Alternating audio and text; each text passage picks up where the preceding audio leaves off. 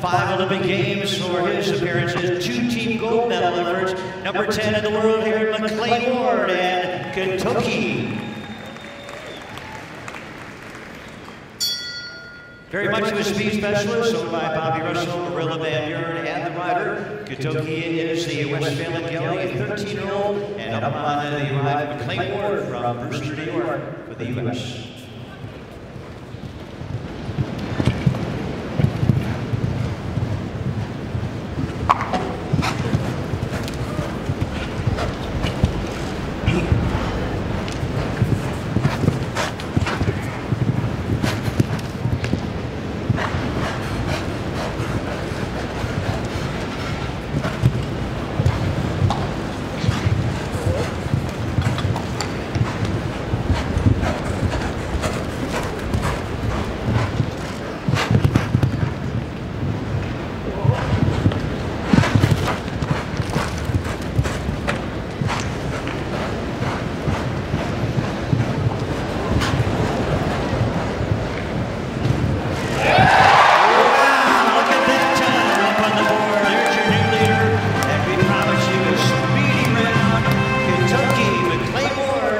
the top of the list, 46-21.